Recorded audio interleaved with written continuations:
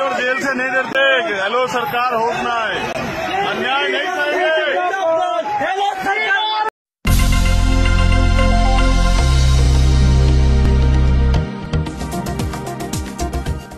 नमस्कार, मैं मोहम्मद फैसल और आप देख रहे हैं जनहित आवाज़। मध्य प्रदेश के गुना में एक आदिवासी महिला को जला दिया जाता है। वो भी ज़िंदा। वहीं दूसरी तरफ़ कर्नाटक में एक मुस्लिम युवक पर धारदार हथियार से हमला होता है। वहीं तीसरी तरफ़ यूपी के अयोध्या में हनुमान मंदिर में एक पुजारी का सर काट दिया जाता है। ये अब ये तीनों खबरें हैं और इन तीनों खबरों को समझिए कि अब आउटरीच किस पर होगा। जहाँ मध्य प्रदेश में एक आदिवासी महिला को ज़िंदा जला दिया जाता है, वो खबर तक नहीं बनती। वहीं दूसरी तरफ़ कर्नाटक में मुस्लिम युवक को दारदार हथियार से जो मारा जाता है, वो भी खबर नहीं बनती। खबर कौन सी बनती है? खबर बनती है अयोध्या के हनुमान मंदिर के पुजारी की। मैं ये नहीं कह रहा हूँ कि वो भी नहीं बननी चाहिए थी, लेकिन आप समझिए मीडिया की ताकत को। और जो लोग मीडिया में बैठे हैं, उनकी मानसिकता को, जब मध्य प्रदेश में, गुना में एक आदिवासी महिला को ज़िंदा जला दिया जाता है तो इसको खबर को छिपा दिया जाता है। वहीं कर्नाटक में जब मुस्लिम युवक को, युवक पर हमला होता है, उसको भी छिपा दिया जाता है।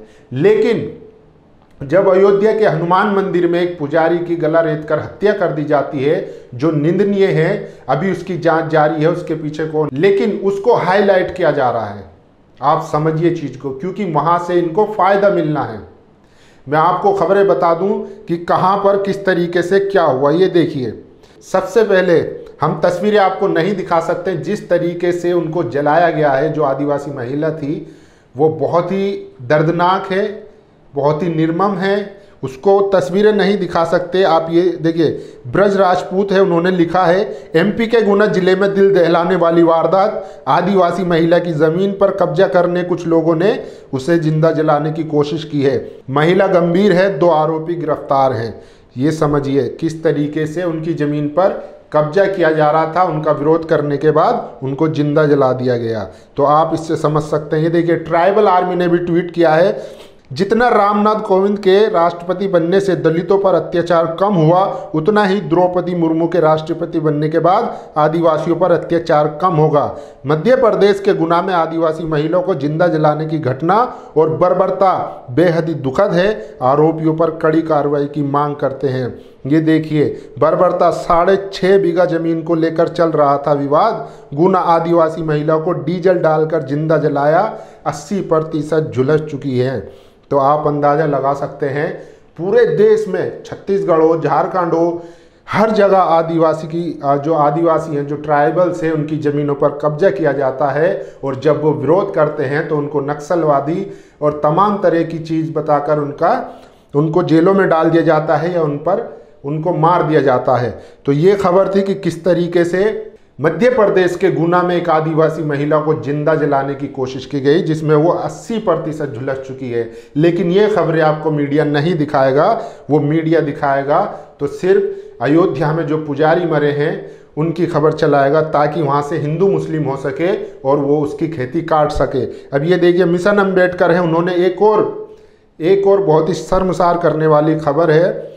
मिशन अंबेडकर है, उन्होंने ट्वीट किया है why is there no outcry over this media channel including liberal are not even reporting this horrific incident same खबर यह है दलित महिला की कब्र। जेसीबी से खोदी गई, ट्रैक्टर में डाली और कहा, अपने घर में गाड़ दो। आप समझिए कि मानसिकता कहाँ तक पहुँच चुकी है।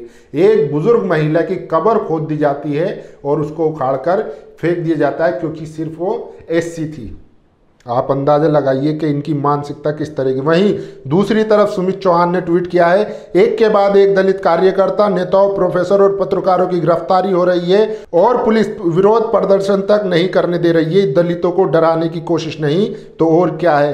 क्या दिल्ली, क्या जयपुर, क्या बीजेपी, क्या कांग्रेस, हर जगह दलितों की आवाज़ दबाई जा रही है। कल जिस तरीके से चंद्रशेखर आज़ाद रावण जयपुर जाते हैं, एक आंदोलन में शामिल होने के लिए, उन, उसके बाद उनको गिरफ़्तार कर लिया जाता है और जेल भेज दिया जाता है। उसी को लेकर आज दिल्ली में बीकानेर हाउस का घेराव था, भीम आर्मी की तरफ़ से, जिसको लेकर वहाँ पर उनके प्रदर्शनकारियों को भी डिटेन कर लिया गया है।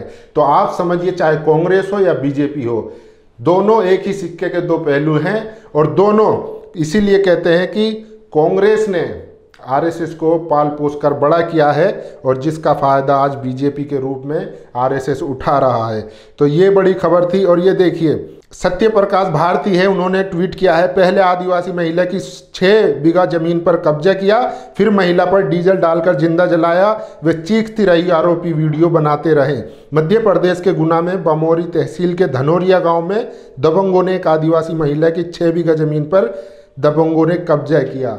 तो ये दबंग जो लिखते हैं ना, ये दबंग भी इनको, दरअसल ये दबंग नहीं है यही जातिवादी, मनुवादी लोग हैं जो जो आदिवासियों की ज़मीनों पर कब्जा करते हैं, जो दलितों को मारते हैं, जो मुसलमानों को मारते हैं, ये वही लोग हैं सब। देखिए, ट्राइबल आर्मी ने ट्वीट किया है आदिवासी शहीद स्थल मानगढ़ पर भगवा झंडा लगाना हमारे पूर्वजों का अपमान है। आदिवासी अस्मिता स्वाभिमान के साथ खिलवाड़ बर्दाश्त नहीं किया जाएगा। राजस्थान सरकार व स्थानीय बांसवाड़ा जिला प्रशासन तत्काल प्रभाव से इस प्रकार के झंडे को हटाए। हमारी मांग है भगवा मुक्त आदिवासी धरोहर।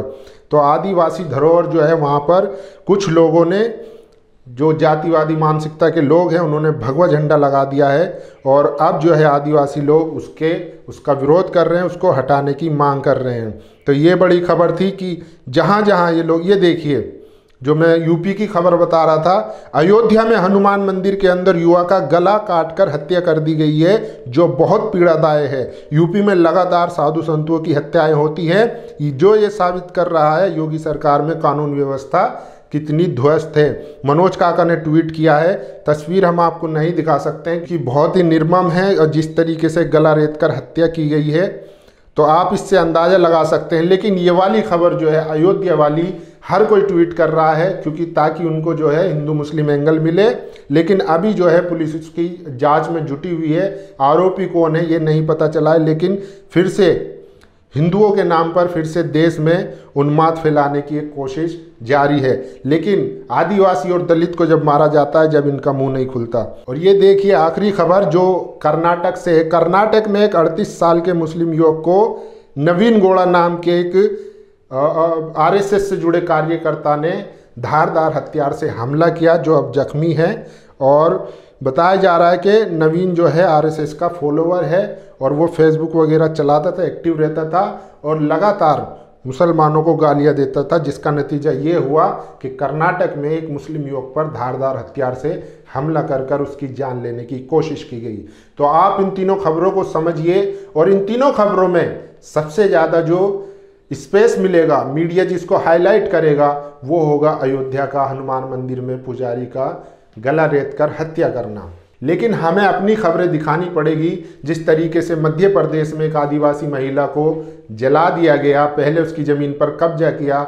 अगर जब उसने विरोध किया तो उसको ज़िंदा जलाने की कोशिश की गई। वहीं कर्नाटक में एक मुस्लिम युवक पर धारदार हथियार से हमला किया गया।